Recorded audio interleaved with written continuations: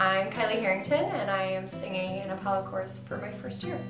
I'm Kristen, I'm singing in Apollo for my fourth year.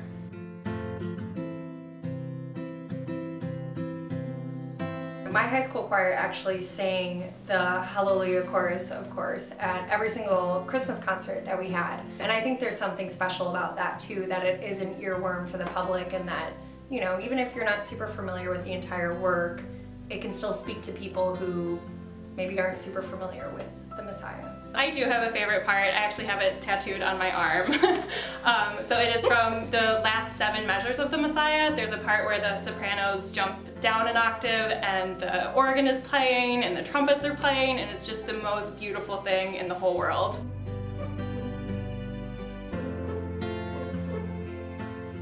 There are a lot of them in the choruses. The choir gets to do a whole bunch of them, and what they kind of sound like is a ha ha ha ha ha ha ha So, good way to do it. yes. Look out for that.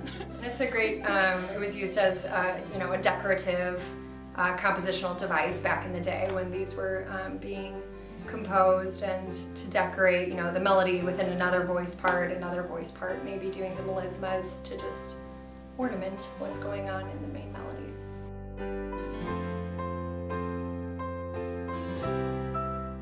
So I have plenty of friends who aren't really into classical music and I've invited them to the Messiah and they ended up absolutely loving it and coming year and year again. I've always told people to know the story going into it.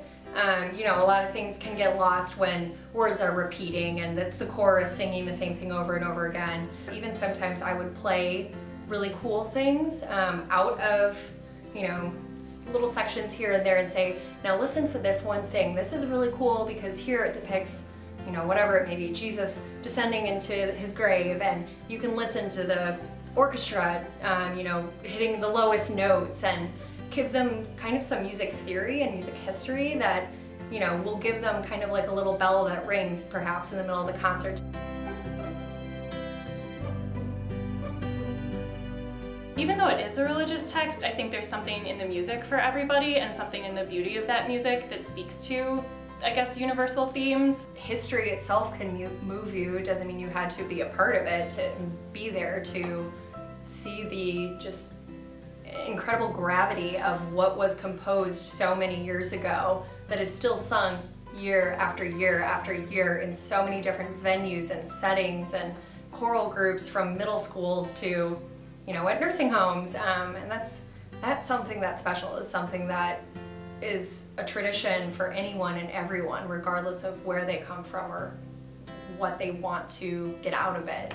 I feel like the choir really loves it, I feel like Stephen really loves it, and that love for the piece really comes through in how we perform it. There's just a joy and a real care for the music.